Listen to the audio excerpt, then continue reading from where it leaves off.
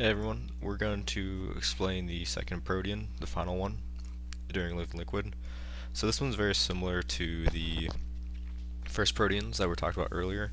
The only difference is, um, in this case, there's also going to be proteans coming from the tornadoes that we need to bait as well, on top of the ones from li Living Liquid. So we're going to start off uh, very similar. In this orientation, the boss will be facing north because before this is a cascade, so a new set of tornadoes spawn. We just have the boss in the middle facing north. We're gonna have the party once again just stacked uh, uh, right in front, baiting all the all the proteans, the ones that are baitable north. And then for the second set of proteans, we're gonna have the range, so the two range DPS and the healers, we're gonna have them take the second set. And the melee 1, melee 2, and the tanks are going to go next to the tornadoes to bait out the first proteans from the tornadoes.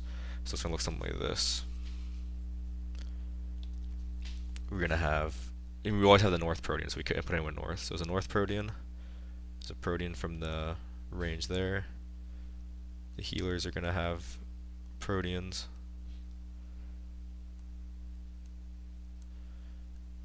And these are the ones I just hit right away. And then there's going to be baited ones, the ones that leave the AoE indicator, that the melee and the tanks are going to bait from the tornadoes. So that's how the first one's going to kind of look like. So the first one, everyone's stacked in the front, bait all bait those ones, and then for the next one, the range and the healers are baiting the close ones, while the melee are baiting the ones from the tornadoes. Also keep in mind there's going to be the circle AoEs that the melees and the tanks are going to bait as well. That's just also going to hit land near them, so it's important that they're kind of far away. And then after that, for the third one, the healers in the range are going to move out. And so they're going to move up here, and they're going to be baiting, or they're going to be getting hit by the second protean from the tornadoes. And then the tanks, so for example, we have both healers go together since it's only three tornadoes. They go up to bait this tornado. The one range goes to this one to bait this tornado, and the other range goes down here to bait this one. And then meanwhile, the tanks move in and the melee move in. We get something that looks like this for the third set of proteans from Living Liquid. So the third set of proteans from Living Liquid, we'll have one facing out there, one hitting there, one going directly south, one going directly east. And this is important because we have to make sure they don't hit the ranged up here, the healers, or the range down here.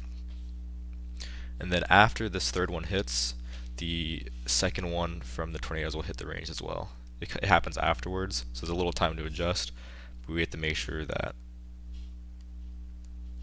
these range and healers don't get hit by that third protean from the boss. Because when you get hit by a protean, you get a water resistance down debuff, so you can't take another protean back to back. So that's why we have the range take the first one up close, then the melee are going to be taking the next one, and the range are taking this these tornadoes afterwards because their debuff is worn off by then. So it's very similar to the first kind of protean we did go over, but just with the tornadoes added. So a brief overview. Everyone baits north the baitable proteans from liquid, living liquid the range stay close to get hit by the second set while the melee and tanks move out to for one bait the AoEs and to bait the baitable protean from the tornado. Ranged move out near the tornadoes, tanks and melee come close, and then the melee and tanks will take the final protean from living liquid, while the range and healers shortly after we'll take the final protean for the tornadoes.